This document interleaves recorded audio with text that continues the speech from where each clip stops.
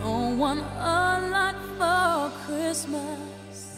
There is just one thing I need. I don't care about the presents underneath the Christmas tree.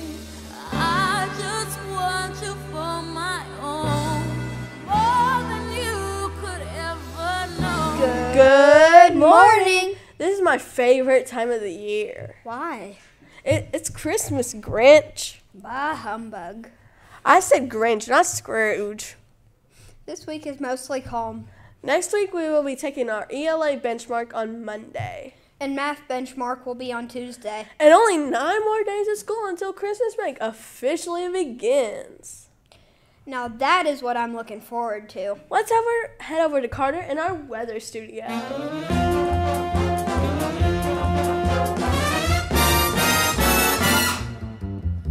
Frosty the snowman was a jolly, happy soul with a corn cob. What's up, guys? Bad news. This week is rainy. Monday, we have a high of 59 with a low of 53. There's a 60% chance of rain for the day. Tuesday, we are looking again at a 60% 60% chance of rain. The high for the day will be 61 with a low of 45. Wednesday, we have a 40% chance of rain. The high for the day will be 53 with a low of 49. Thursday, we are back up to 60% chance of rain. The high for Thursday is 54 with a low of 36. Finally, for Friday, we have a 50% chance of rain. The high for the day will reach 45 with the low dropping down to 36. Sorry I didn't have better news for you this week. Y'all y'all have a great week. I'll catch you back here next week. Uh, Same place, same time, same channel. Thank you to our sponsors, Capstar Bank, for supporting DTN. For any of your banking needs, please go visit Capstar Bank Manchester, member FDIC, equal housing lender.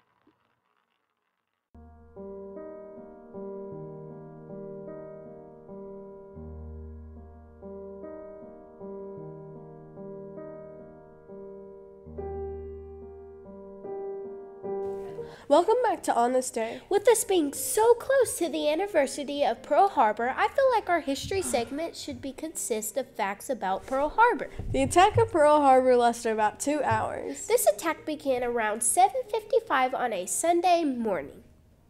The attack on Pearl Harbor is what led the United States into World War II. The surprise attack did not destroy the entire American fleet. The battleship Missouri survived and is still anchored there today. 30 days after the attack on Pearl Harbor, 134,000 Americans enlist in the military. You may be surprised to know that today Japan is one of America's strongest allies. We hope you enjoyed on this day. Catch you back here next week. I want a hippopotamus for Christmas. Only a hippopotamus will do. How do you help someone who has lost all of their Christmas spirit? Nurse them back to elf. What does Santa's elves drive? Minivans! What is a Christmas tree's favorite candy? Ornaments.